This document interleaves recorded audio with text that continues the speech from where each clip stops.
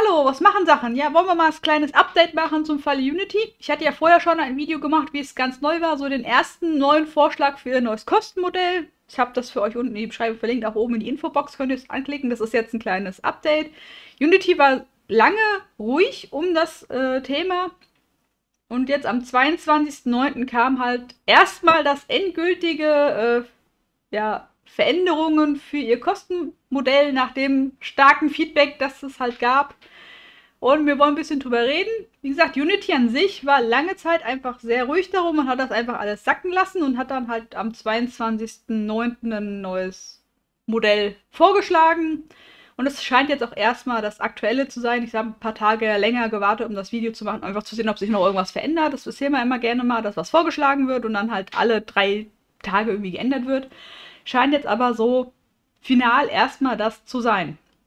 So, aber erstmal äh, ein kleiner Recap für die, die das erste Video nicht kurz äh, gucken möchten. Einfach mal ein bisschen kürzer. Also äh, Unity hatte die Idee, ab dem 1.1.2024 ein neues Kostenmodell zu fahren, indem man halt pro Installation zusätzlich halt verschiedene Kosten tragen muss. Also pro Installation muss der Entwickler halt einen gewissen Betrag abgeben, je nachdem, was für eine Lizenz er hat und wie viele das gedownloadet haben. Es gibt verschiedene Thresholds.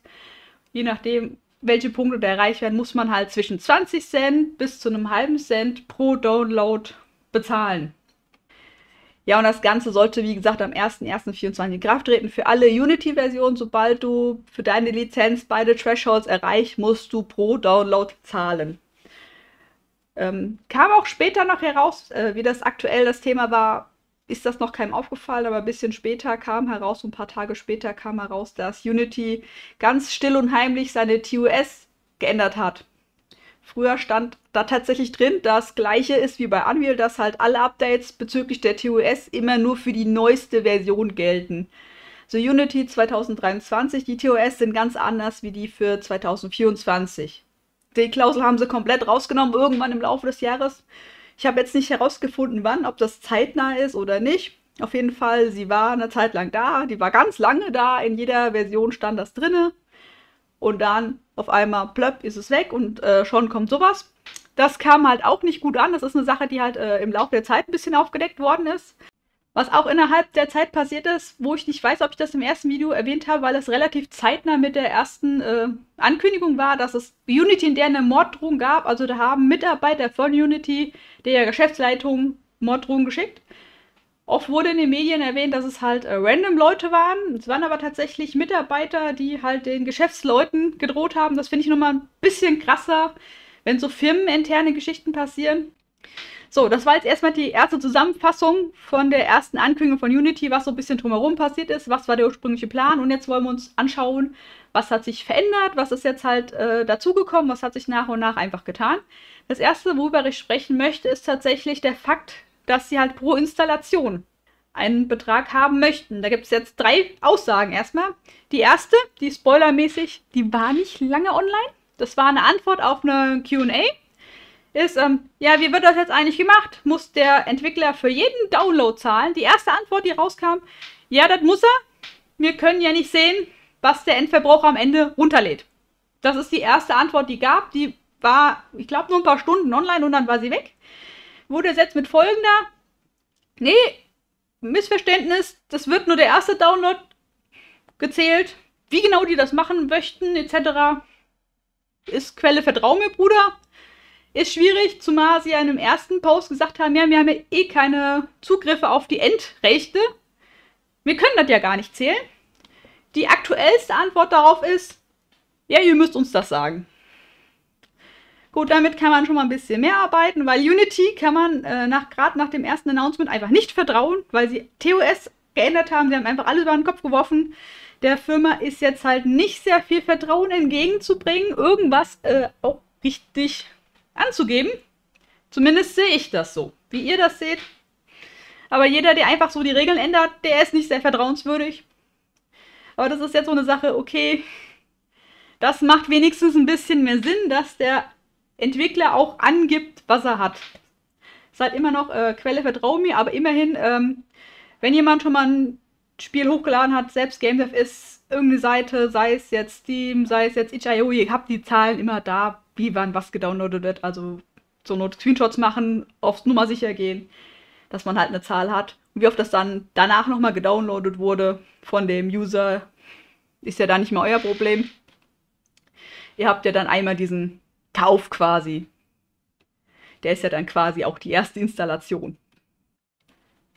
Was sich zum Glück auch geändert hatte, wo sie es dann auch eingesehen haben, ja, es ist eine doofe Idee, das dann halt für alle Unity-Versionen zu machen, haben sie zugerudert und haben gesagt, okay, wir machen es jetzt nicht mehr für alle Versionen, es ist jetzt nur noch für die neueste, die dann rauskam, für die 2024er Version. Ja, da mit dieser Version gelten die neuen Regeln. Habt ihr vorige Version und updatet die halt nicht und bleibt auf der Version. Habt ihr das gar nicht? Das ist schon mal eine gute Sache, da bin ich sehr froh drum. Auch wenn ich, wie gesagt, Unity momentan nicht für vertrauenswürdig halte, dass sie wieder auf die Idee kommt, so nach einem halben Jahr denkst du, ja, fuck it, wir ziehen die anderen auch mit rein oder holen sie nach und nach mit rein, weil irgendwelche Updates rauskamen, was weiß ich, für 2023er Version, hauen wir jetzt ein neues Plugin mit rein oder wir hauen ein neue, neue System mit rein, wir hauen ein bisschen AI mit rein und dann müsst ihr das auch bezahlen, weil da ist ja was Neues mit drin. Würde ich Ihnen zutrauen nach der Sache, die jetzt momentan so passiert ist. Wie gesagt, Unity momentan nicht vertrauenswürdig nach der Aktion. Ja, bei den Gebühren hat sich auch ein bisschen was getan. Zum einen haben sie speziell bei der persönlichen was geändert, also die persönliche Lizenz. Die ist immer noch kostenlos, was schön ist. Ich hatte tatsächlich Bedenken, dass sie auch kostenpflichtig wird. Was auch schön ist, die haben den Cap, also du konntest die persönliche Lizenz nur nutzen, solange du unter 100.000 Dollar bist. Den Cap haben sie jetzt auf 200.000 Dollar erhöht. Also sobald du die 200.000 Dollar verdienst, musst du dir eine andere Lizenz holen. Sobald du drunter bist, darfst du in der persönlichen Lizenz bleiben. Und alle Spiele, die halt keine Millionen Dollar verdienen, die bleiben halt anscheinend auch von der neuen ja, Gebührenpflicht verschont, so wie es aussieht. Es gibt auch eine Alternative zu den Installationsgebühren. Unity hat sich gedacht, okay, wir machen da so ein Split-Ding. Wir machen entweder die Installationsgebühren oder du darfst dir aussuchen, ob du dann halt 2,5% von deinem Gewinn abgibst. Ich weiß jetzt nicht, ob das für alle Lizenzen gilt. Ich war auch von der Seite ein bisschen verwirrt, da es halt unter der persönlichen Lizenz mit drinne war.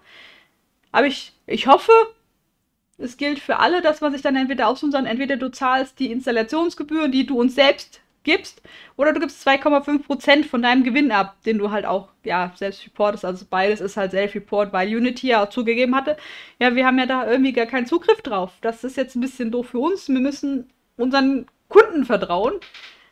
Ja, zum Glück gibt es halt Webseiten, die die Werte angeben, wenn man halt ein Spiel hochlädt und verkauft. Steam, itch.io etc., egal wo man das hochlädt, es gibt immer halt ein Dashboard, wo drauf steht, ich habe das Spiel so und so viel mal verkauft.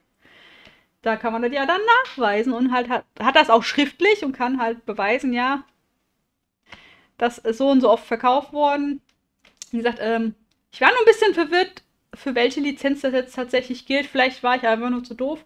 Ich hoffe aber wirklich, dass das für alle Lizenzen gilt, dass entweder gesagt wird, entweder du zahlst die Installationsgebühren oder die 2,5%. Suchst dir das dann aus und äh, steht zwar auch noch dabei, ja, der günstigere Betrag wird abgezogen, aber da du das ja selbst reporten musst, darfst du dir ja quasi das selber aussuchen und natürlich nimmst du ja den günstigeren, weil, mal ganz ehrlich, wer würde schon hingehen und sagen, ja, ich bezahle jetzt mehr, wie ich eigentlich müsste. Ich weiß nicht, das, das machen die wenigsten.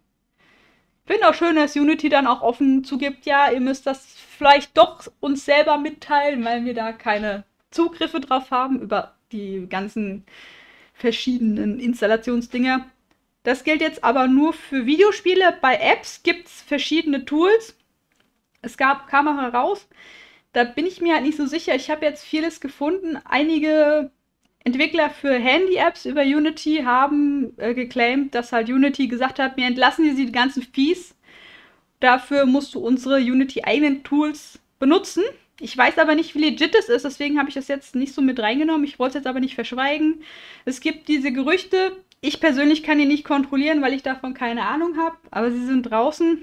Und ähm, ja, ich wollte es nur mal kurz erwähnt haben, dass es halt diese Gerüchte gibt. Wie gesagt, ich kann jetzt da nichts verifizieren. Ich kenne mich da mit den ganzen Apps-Entwicklungen zu wenig aus, dass ich da sagen würde, ja, das ist so, ja, das ist nicht so.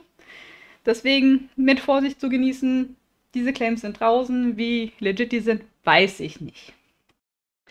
Ja, und das war's auch schon. Ich hoffe, das Video hat euch gefallen. Lasst ein Like da, lasst einen Kommentar da und wir sehen uns im nächsten Video. Auf Wiedersehen.